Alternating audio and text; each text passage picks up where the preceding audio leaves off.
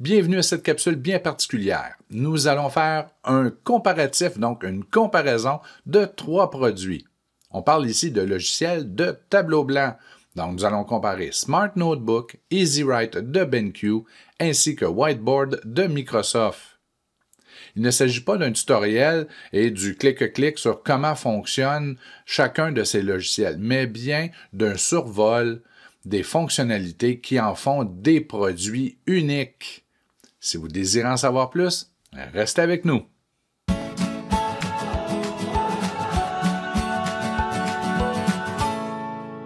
L'objectif principal de cette capsule n'est pas de déclarer un vainqueur, mais bien d'identifier un logiciel qui pourrait bien répondre à vos besoins de pédagogue. Car les trois produits qu'on vous suggère, et faites à noter, il y en a plusieurs autres, mais trois vous sont offerts par le centre de service. Et de ces trois-là, ils ont leur force, leur faiblesse. Donc, il y a des choses qu'ils peuvent faire et d'autres moins bien. Donc, allons-y pour faire un choix éclairé. On va prendre quelques minutes par outil, trois à quatre minutes, pour voir ce qui en font des outils uniques et bien particuliers.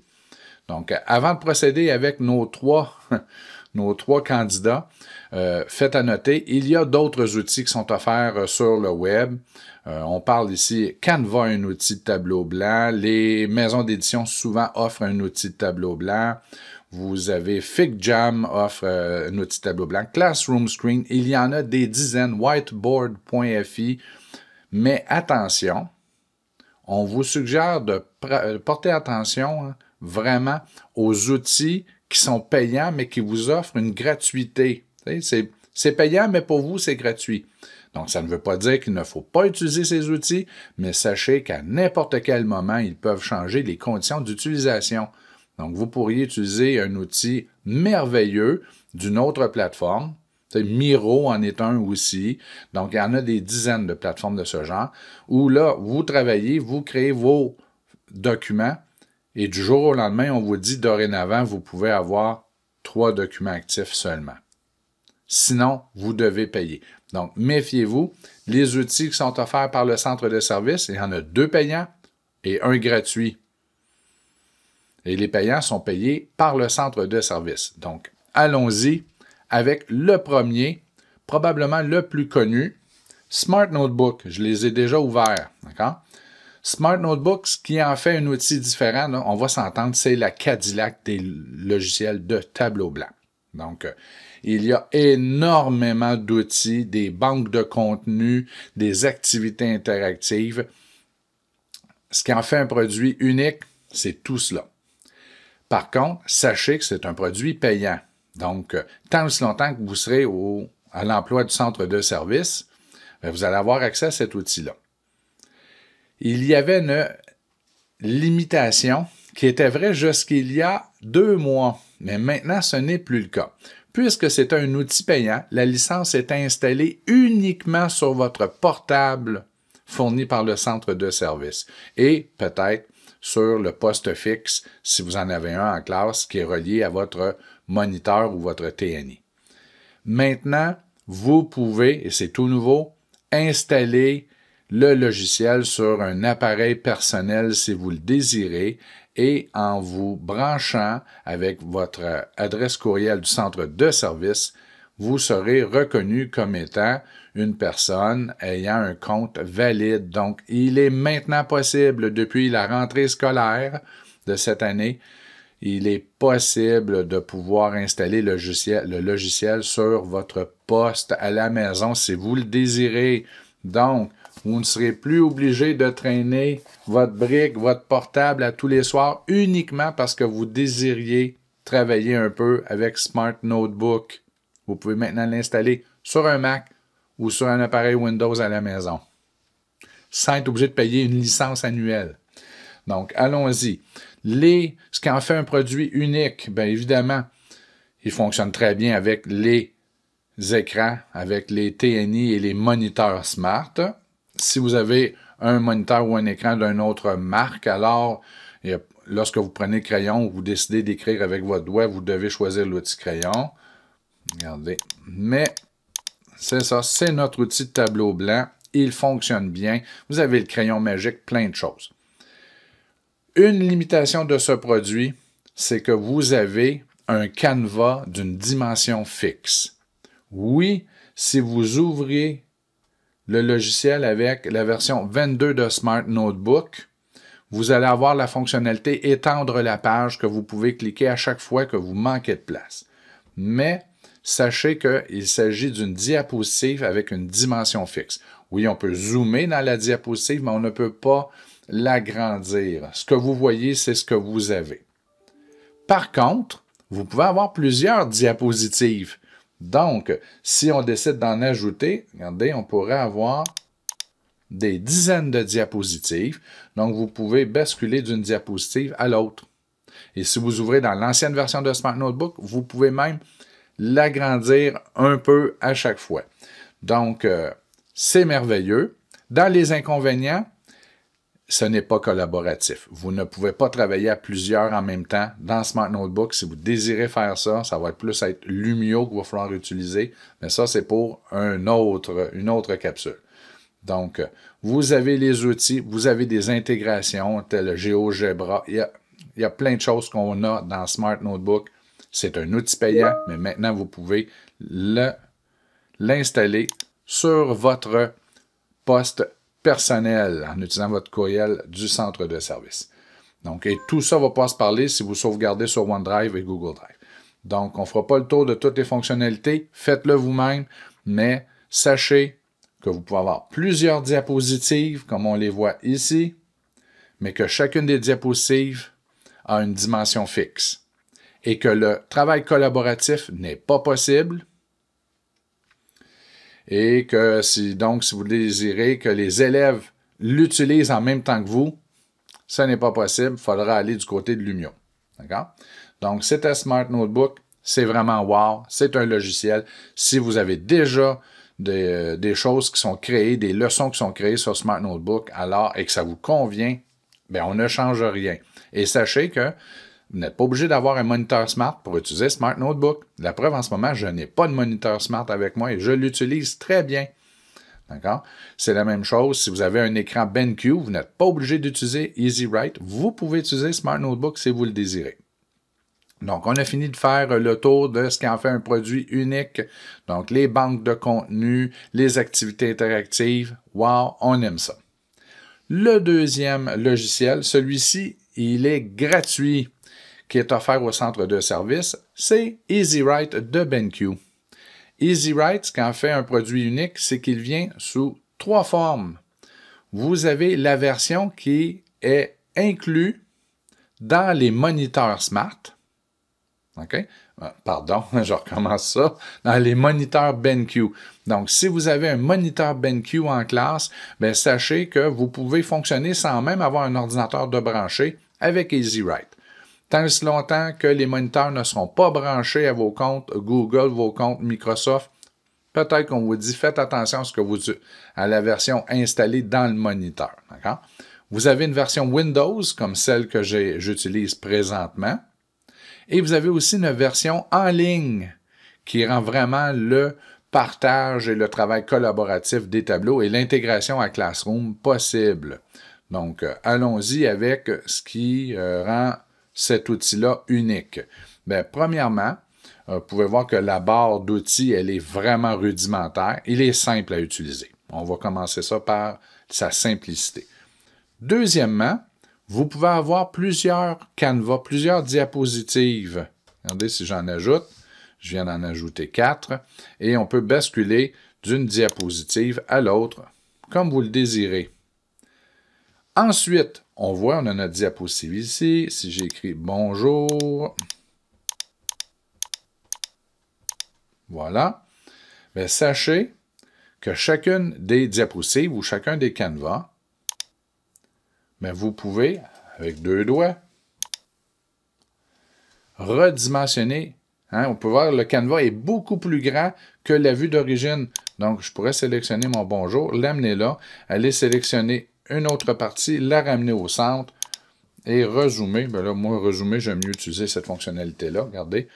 Et si jamais je veux retourner à mon bonjour, Hein, regardez, avec mon doigt, je suis ici, ou avec deux doigts, je me promène. Donc, euh, ça, si c'est une fonctionnalité que vous jugez qui est importante pour vous, de pouvoir agrandir, rapetisser, se promener dans le canevas, alors c'est peut-être un bon choix. Par exemple, pour les enseignants en sciences euh, et en mathématiques, ben, vous pouvez faire des démonstrations, des calculs. Regardez, moi j'aime ça un crayon un peu plus large. 2 plus 2 égale, on va y aller avec 4. Mais là, si on faisait une démonstration qui est beaucoup plus longue, ben, on peut continuer la démonstration. Regardez. Et on continue. Et on continue. Et quand on a terminé, si le cadre vous achale, faites-vous-en pas, on peut rapidement l'enlever. Hein, si on enlève la zone de référence, regardez. Donc, euh, et on peut zoomer in and out presque à l'infini. Ça n'est pas à l'infini, mais de toute façon, sachez que vous avez plusieurs canevas. Donc, vous pouvez aller euh, pour la période 1, le cours 1, cours 2, cours 3, et pour y avoir votre année entière dans le même document donc pour un groupe donné. Sachez aussi que comme Smart Notebook, vous pouvez euh, mettre une image en arrière-plan, choisir un fond. Regardez, je vais aller à la diapositive 2. Par exemple, donner un cours de musique. Allons-y avec les portées. C'est à la troisième période. Faites une leçon sur le basketball. Allez-y, le basketball. Et euh, à quatrième période, une leçon de mathématiques. J'ai besoin d'un plan cartésien. J'en ai là. regardez si je mets un petit peu plus bas. Tiens, plan cartésien, Allons-y, on utilise le plan cartésien. Donc, euh, hein, on peut voir qu'il y a des fonctionnalités. Vous avez des outils, comme on peut retrouver dans Smart Notebook, donc des outils bien pratiques. Et vous, pouvez importer euh, des documents, des images, des PDF, euh, des fichiers son, inclure des liens pour le web, des vidéos YouTube. C'est à vous. Il y a tout. Un peu comme dans Smart Notebook, là, il ne manque pas grand-chose. Ce qui rend un peu euh, une autre chose qui rend cet outil-là vraiment particulier, si je reviens à ma première diapositive, c'est l'outil efface. l'outil efface standard, regardez comme on est habitué. Mais regardez bien, vous avez aussi une efface intelligente où lorsque on touche à une partie de la figure ou lorsqu'on l'entoure, on va, attendez, il faut rester dans l'écran par contre, mais on peut effacer comme on veut. Ça, je dois avouer, ça aussi, ça le met un peu euh, à l'écart des autres. Et vous avez la possibilité, là, je ne suis pas branché, de vous brancher et de pouvoir partager votre tableau à vos élèves. Donc, s'ils ont un Chromebook en classe, ils peuvent, avec le Chromebook, aller écrire dans votre tableau mais ce qui en fait vraiment un outil particulier, c'est qu'ici, lorsque vous allez avoir votre liste d'élèves qui va apparaître, vous pouvez activer le droit d'écriture à tous les élèves d'un coup, ou vous pouvez choisir les élèves qui peuvent écrire. Donc, vous pourriez, dire, Mathilde, va sur la troisième diapositive, sur le terrain de basketball, et fais telle chose, place tes joueurs. Et là, vous pourriez dire, Julien, va sur la cinquième diapositive, et, là, vous pouvez activer individuellement les droits d'écriture et vous pouvez les retirer à n'importe quel moment. Est-ce qu'on a les outils de suivi qu'on avait dans Jamboard pour savoir qui a fait quoi? Non. D'accord? Vous dites tout de suite, il n'y a aucun outil qui peut remplacer Jamboard à l'heure où on se parle ou à l'heure que j'enregistre cette capsule-là. Mais est-ce que le travail collaboratif est possible avec EasyWrite? Certainement. Et il est aussi possible, comme dans Smart Notebook, d'enregistrer vos leçons, vos démonstrations. Donc, euh, si hein, on revient ici, puis je remets les choses, ben, je pourrais décider, je ne le ferai pas parce que je m'enregistre déjà, mais je pourrais m'enregistrer. Vous pouvez faire la même chose dans Smart Notebook, je voulais le mentionner tantôt, parce que notre dernier candidat ne peut pas le faire, en tout cas, pas facilement. Donc, euh, vous avez des outils, vous avez des options, vous pouvez zoomer, agrandir, rapetisser comme vous le voulez. Une version déjà installée dans les moniteurs BenQ, une version que vous installez dans Windows et une version qui est web, qui, elle, peut s'intégrer à Classroom. Donc, une fois que vous avez terminé votre tableau à la fin de la période, quand vous utilisez la version web, en deux clics, vous envoyez le lien de votre tableau dans votre classroom et les élèves à partir de la maison, en lecture seulement, peuvent même retourner et consulter ce qu'ils avaient fait en classe. Donc, ce sont des possibilités. Donc, fini pour EasyWrite. Sachez qu'on peut avoir plusieurs diapositives et que chacune des diapositives, on peut zoomer. Le canevas est beaucoup plus grand que la diapositive initiale, donc on peut se promener et transférer nos objets. Donc, euh, allons-y. J'y vais maintenant pour le troisième outil, Microsoft Whiteboard. Là, il faut faire attention, Microsoft Whiteboard, il y a deux ans, était vraiment limité. Ils ont ajouté énormément de choses. C'est maintenant un outil viable et facilement utilisable et intégré au produit Microsoft, évidemment. Une chose à noter, lorsque vous ouvrez un whiteboard, il n'y a qu'une seule diapositive. Donc, on ne peut pas, contrairement à Notebook et EasyWrite, avoir dans le même fichier plusieurs diapos. Hein, on le savait, Notebook, plusieurs diapos, mais à dimension fixe. Dans EasyWrite, jusqu'à 100 diapos, mais à une dimension euh, impressionnante. Whiteboard, lorsque vous ouvrez un whiteboard, il n'y a qu'une seule planche de travail, mais elle est presque infinie. Donc, euh, ça dépend de vos besoins. Donc, évidemment, comme les autres, vous avez des modèles qui vous, ont, vous sont suggérés. Je vais débuter, ben, regardez, avec, euh, allons-y avec ce modèle-là, juste pour avoir un aperçu de la dimension. Donc, on pourrait simplement prendre ceci, effacer. J'ai des post-it, des post-it que vous avez dans les autres outils aussi en passant. Mais là, c'était pour avoir un canevas. Regardez, vous pouvez agrandir et zoomer à peu près comme vous le voulez. Il y a des limites, d'accord? Il y a des limites, là. Mais regardez, 383% Puis de l'autre côté, mais là, quand on est rendu là, c'est parce qu'on a grand pour travailler. D'accord? Donc, vous avez ça. Si je désire écrire, si on clique deux fois, on peut décider de l'épaisseur. C'est comme tous les autres outils. Voilà. Donc, euh, vous avez hein, l'outil règle, l'efface. Si je décide d'effacer, Voilà. Donc, vous avez peut-être remarqué hein, que la taille de l'efface euh, se modifiait euh, en fonction de ce que je faisais. On peut des fois faire un zigzag aussi. Exemple, si on écrit quelque chose puis qu'on zigzag dessus, ça lui fait comprendre qu'on veut effacer. Il y a des fonctionnalités comme ça. Vous avez euh, les fameux post-it, les papillons adhésifs. Vous avez évidemment des symboles, donc on peut ajouter il y a des fonctionnalités. Il est possible de partager le tableau. Hein, on a même un minuteur, mais on a, aussi des minuteurs dans Smart Notebook et dans EasyWrite de BenQ. Mais vous avez votre minuteur qui est accessible rapidement. Il est possible de, partager, mais sachez que le lien en partage, la gestion des partages n'est peut-être pas optimale. peut-être pas optimale. Les élèves devront obligatoirement se brancher avec leur compte Microsoft 365. Donc, s'ils sont déjà dans l'environnement Windows, ce n'est pas un enjeu. Si vous fonctionnez avec Teams, c'est intégré. Mais si vous fonctionnez avec des Chromebooks, alors il y aura la double authentification. Mais si vos élèves sont habitués, alors ce n'est pas un enjeu. Puis peut-être que vous dites, c'est un outil pour moi à l'écran. Lorsque les élèves viennent à l'écran, ben alors c'est bien, ça fait.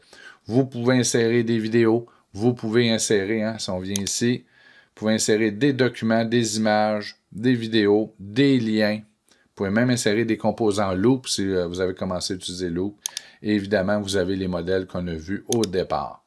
Donc, euh, c'est un outil aussi qui est wow, mais rappelez-vous, une seule planche à la grandeur presque infinie, mais une seule planche par fichier. Donc, si vous désirez avoir une planche différente pour chacune de vos périodes, pour chacun des groupes, et que vous êtes spécialiste, à la fin de l'année, vous allez vous ramasser avec des dizaines de documents. Donc, à réfléchir à ce niveau-là. Mais si une planche infinie pour vous, Vous pouvez l'utiliser pendant une semaine, deux semaines, trois semaines avec votre groupe. Par exemple, vous êtes titulaire au primaire. Wow! On parle de quelque chose de très bien. D'accord? Là, je pointe par là, mais je sais que c'est plus par là. mais je voulais utiliser mon écran tactile, donc qui est à gauche. Normalement, j'utilise mon écran de droite pour les vidéos. Donc, désolé si je ne pointe pas du bon bord et que je ne regarde pas du bon bord. Donc, trois outils incroyables. Whiteboard, c'est un outil qui est avec votre licence Microsoft 365 qui est payé par le centre de service. Donc, à la base, ça reste quand même un outil payant, mais il est payé par le centre de service. Vous pouvez l'utiliser sur votre ordinateur personnel à la maison, évidemment, puisque vous avez le droit jusqu'à cinq installations de la suite Microsoft. Le EasyWrite de BenQ, c'est un outil gratuit. Vous allez sur le web, téléchargez EasyWrite, vous le téléchargez, vous pouvez l'installer sur 100 appareils si vous le désirez et le tout fonctionne.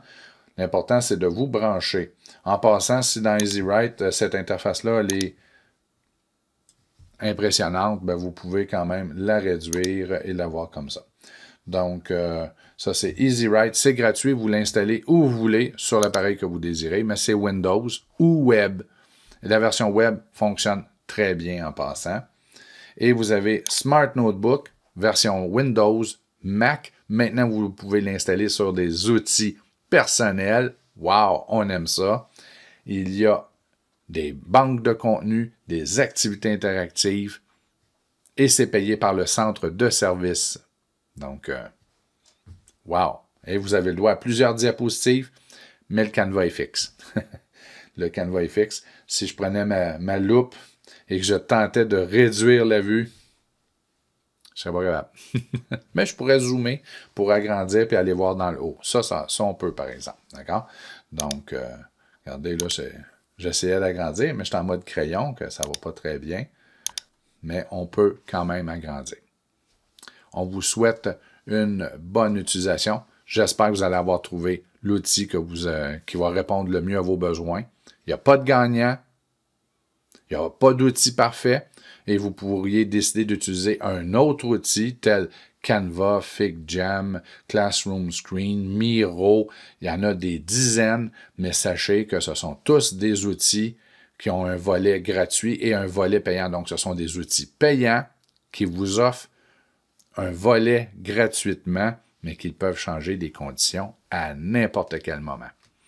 Donc, euh, nous, on vous suggère d'utiliser soit Notebook de Smart, EasyWrite de BenQ ou encore Whiteboard de Microsoft, ou vous pourriez utiliser une combinaison des deux ou des trois en fonction de vos besoins du moment. Donc, euh, bon partage, bonne écriture, bonne réalisation à l'aide de vos tableaux blancs, de vos moniteurs, de vos TNI. Au revoir.